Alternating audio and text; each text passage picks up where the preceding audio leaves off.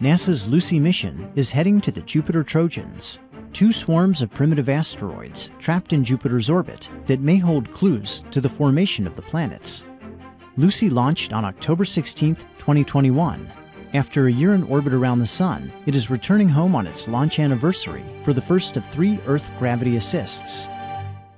On October 16, 2022, Lucy will fly by the Earth like a partner in a swing dance, boosting its speed and elongating its orbit around the Sun.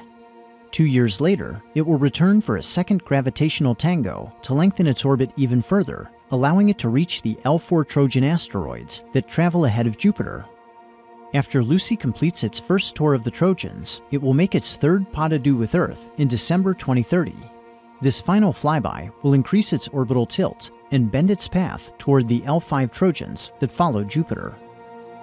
As Lucy approaches its first gravity assist, it will use the Earth and the Moon to calibrate its instruments. A day before it arrives, NASA will begin scanning for potential collisions. Lucy's path runs through a cloud of over 6,000 Earth orbiting satellites and about 20 times as many bits of inactive debris. If any potential collisions are detected, the spacecraft will fire its thrusters to speed up its arrival by a few seconds, avoiding a catastrophic impact. Because Lucy will approach from Earth's day side, it will initially be invisible to observers on the ground.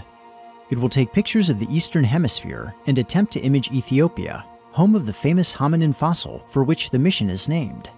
Lucy will then pick up speed as it races toward the evening terminator, or boundary between day and night, it will emerge from the sun's glare as night falls on Western Australia, with its expansive solar arrays reflecting the daylight. An hour after sunset, at 6.55 p.m. Western Australia time, stargazers will be treated to a magnificent sight as Lucy streaks across the sky.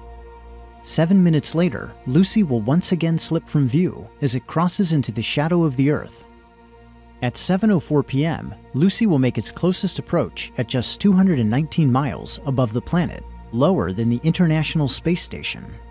This exceptionally close shave will increase its velocity by 4.5 miles per second. Lucy will traverse the night side of Earth, rapidly gaining in altitude, and emerge from the planet's shadow at 4.26 a.m. Pacific Time. If skies are clear, early birds in the western US will be able to spot the spacecraft through binoculars.